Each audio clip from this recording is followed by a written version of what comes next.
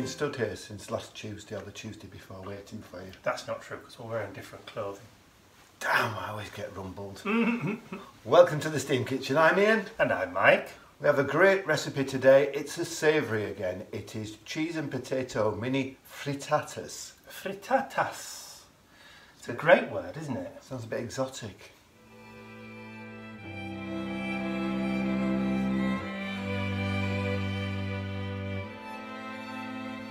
For today's make, you're going to need the following.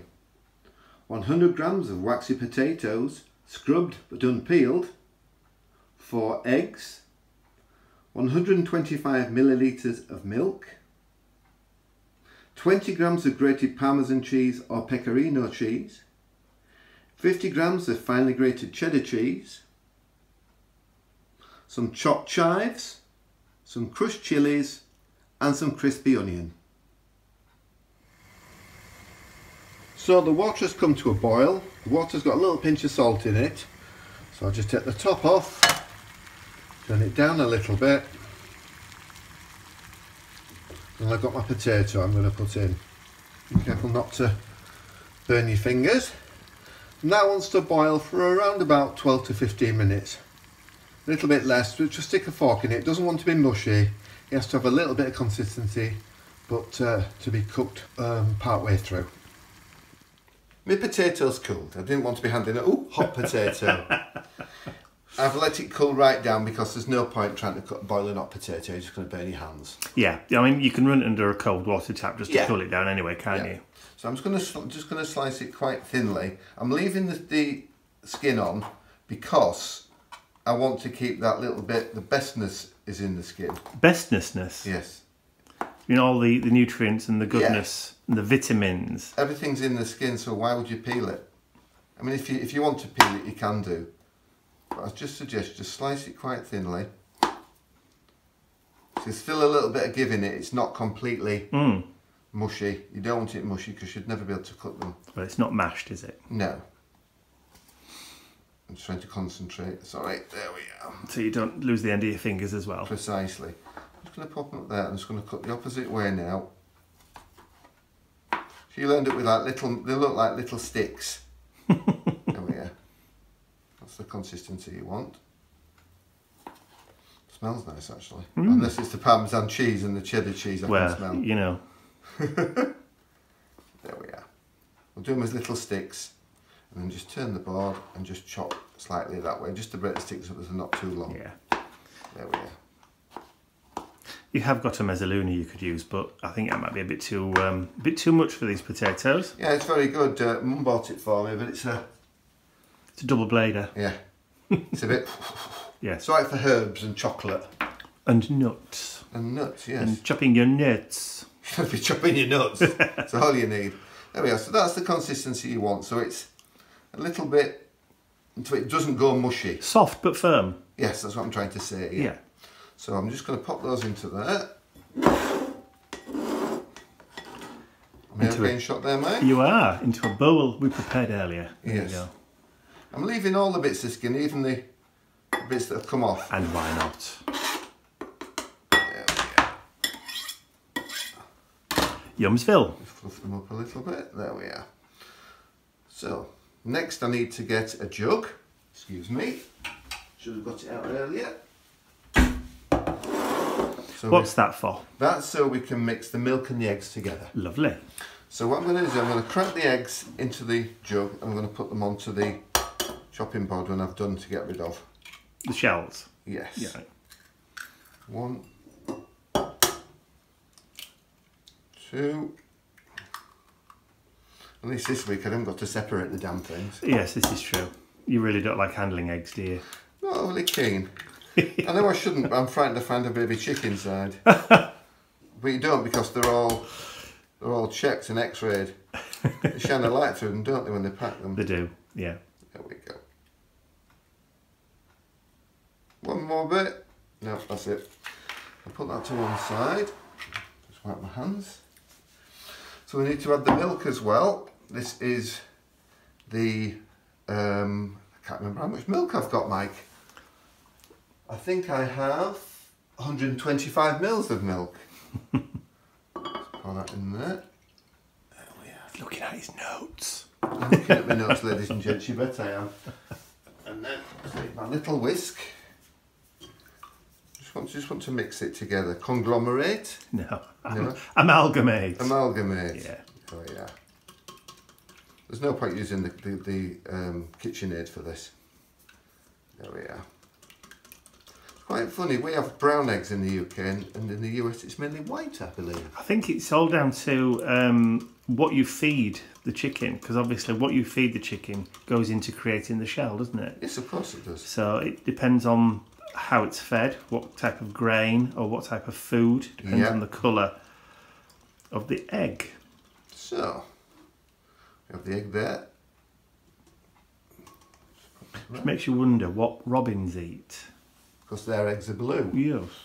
Okay, we can add the cheese now, but this is the um, mature cheddar. This is coloured cheddar. Yeah. Do you add all of it or do you save some back for the, the topping? You add three quarters of it and you're going to save some back from the topping, yeah. There we are. Just mix that in. Give it a whisk. Yeah.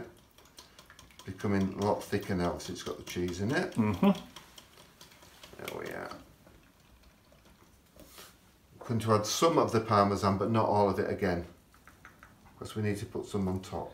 Parmigiano. Parmigiano, yeah. Let me just adjust the shot a little bit. There we go. Oh yeah. Oh, Can you smell it? I can. What It also- smells delicious. Uh, it does. What I'm also going to add, I'll just put the, this there, going to add some of the dried onion. Right. This is from the supermarket. Um, believe it or not, it's down the beef burger aisle and whatever, Hot the hot dog aisle, Yes. tint hot dog aisle in yes. the UK. You, you can you can find them normally down the aisle where they sell the hot dogs. So I'm just putting a small handful in. There we are. Yeah. So there's plenty going on in this. Yes. I mean, if you if you're a red pepper fan, you can add chopped red peppers. Ham. Yeah. Bacon. If you're vegetarian, have chicken. Just joking. uh, yeah, add anything you want in, and we've got some some, some chopped chives. Yep. That's about. Uh, So onion and chive, lovely. So cheese, onion, and chive, always a good combo. it is. Always a good combo. There we go. And then just a few. Yes. Do not tip the entire thing in, or you should be eating them on your own. That'll do. Yeah. yeah, because Mike's not keen of. Uh, well, it's not. It's not. He's not keen. It's they're not keen of him. Isn't that right, Mike? That's correct. There we are. My body has a hard time um, with any kind of capsicum, Yes, it does. whether it be pepper or chili, which is why we're not putting peppers in there. That's true. Right, I'm just going to put that to one side. I just need to get a slightly larger bowl now so I can mix both together. Okay, I've got my larger bowl now. I'm going to pour in the mixture first. There we go. Oh, look at all that cheese. Mustn't say the word cheese. Oops. It's all right. He's asleep anyway. There we are. Because the cheese monster will be down. It was down yesterday when I was making, when I was grating the cheese. Oh yeah. Ready for tea last night, and when I grated it this morning, he was here again. okay, so we've got the potatoes. Mhm. Just going to just put them into there. They're quite waxy and starchy, these, which is what you want. Because if they were, Waxy potatoes are what it's called for. yeah. If you use all just new potatoes and things, they'll just fall to pieces. It'd be Yeah. like mashed potato. There we are. Look at that. Lovely. Right, just put that to one side. And now it's time to grease our muffin tin. Okay, you need a deep muffin tin. You could use a shallow one, but you're going to end up problems with it coming over the top. So you're better with quite a deep muffin tin. Yes. Yes. So I'm going to use a little bit. I'm using some Sunflower sunflower, oil. Sunflower oil, vegetable oil, it doesn't really matter. But this is the bit I don't like. My hands are clean, I assure you. Just pour a little bit in one. Can, can you not use some greaseproof paper or some?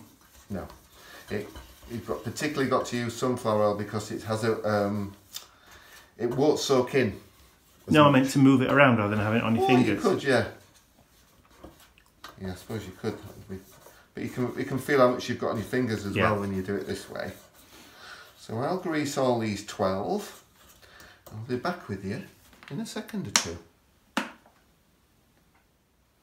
Okay, so all my little cubby holes are greased up. I'm going to use a ladle because I think it's going to be easier. I'm just going to mix it up a little bit so I don't I don't want to get all the cheese in one and not the other.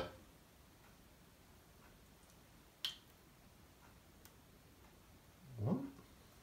So about halfway. Yeah, about halfway.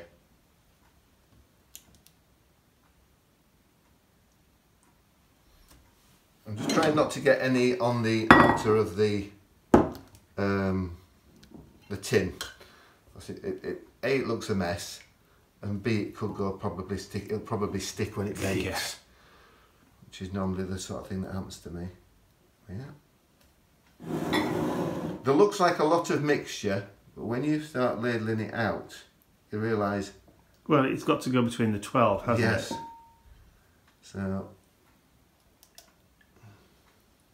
these look and smell absolutely divine. So if you do get any on the side or on the top, you can always just wipe it off oh, before you Oh, pop yeah. it in the oven. Yeah. Supposed to do 12, but I appear to have Well, we can always do more than one 11. baking or can't Yeah, we? of course we can. I'll just pour that. I've got 11 done. Don't want to leave any of the nice goodness in the bottom. There we go. They're all roughly about the same. Mm. So, I'm just going to put a little bit of the cheese on the top of each. Please take care not to get it round the edges because it will it will melt mold itself melt itself to the the pan and you'll have a little bit more difficulty getting the, Oh, I see. them out afterwards. Oh my god, and then a little bit that's left. Right. Right. One can have a little bit more cheddar on. So I think you went a bit mad with the uh, the pecorino to start off with, didn't you? I Oh, did. I did. the parmesan, sorry. That was a- Do the bit off there. There we are. I think you've got quite a bit more on that one, haven't you? Here's a hand. There we go. There we are. Looks about right. That'll do. It'll do.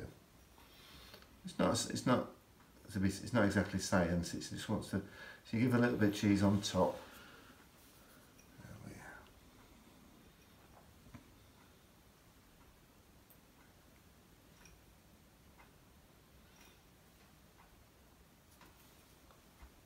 I've got quite a bit of parmesan on, so now I'm just going to do a tiny little bit of the onion. Not a lot, just a little.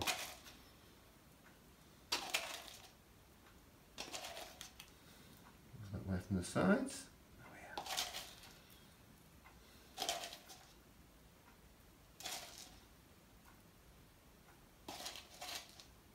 There we go. Lovely. Okay, so they need to go in the oven. Right, Bentley, what's the temperature, please?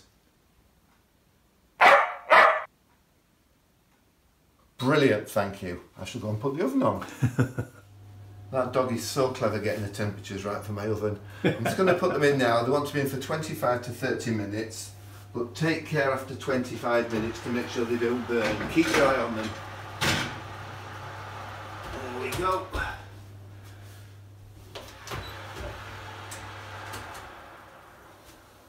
The 25 minutes is up. Oh, look at those. They look absolutely delicious. So, do we have to leave them to, to cool? Um, yes, leave them to cool cook for about five to ten minutes. five to ten minutes, and then we can take them out. But they're all loose. That's good. Fantastic stuff. And they smell glorious. Don't worry, they will drop. Yes. I'm going to run, run a round, was it round-headed knife or a round-ended knife? Yeah, a spatula, Yeah. or no, that's a butter knife, but that works. I'm just going to tease them out. If we, we, we, we grease them up very well, they should just pop out. You're gonna, you're gonna lose a little bit in the bottom of them. There. Sometimes. There we are. No matter how you grease the tins, they always, always stick, don't they? Mm.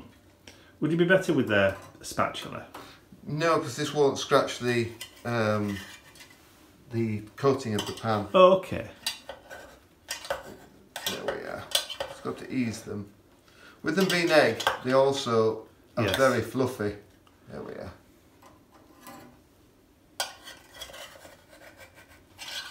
Nicely golden. Oh, they're beautiful, aren't they? They smell beautiful. I'm not put off by the little bits at the bottom that I've lost. 99% of it is on top. Well, I should imagine the heavier stuff would sink to the bottom anyway. yes, yes it would. So your bits of potato would. There we are.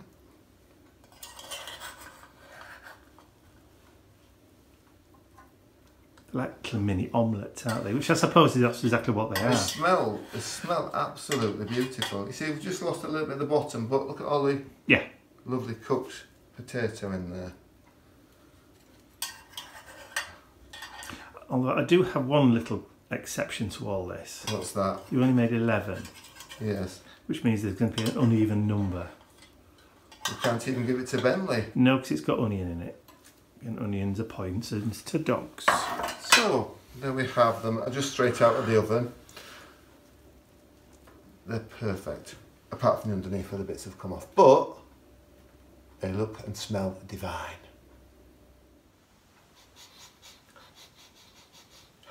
Oh, they're nice. They smell absolutely delicious. Just get that hint of the cheese, and you're offering me a plate, aren't you? Thank you so much. We were going to save these for lunch, weren't we? I'm having that one. Well, there are 11. There should be 12. but, So yeah, so there's the onion and the chive, and just that very mild kick of the hotness and the warmth from the chili. and we've also got the dried onion. Oh, beautifully, beautifully moist on the inside. Mm. Absolutely beautiful.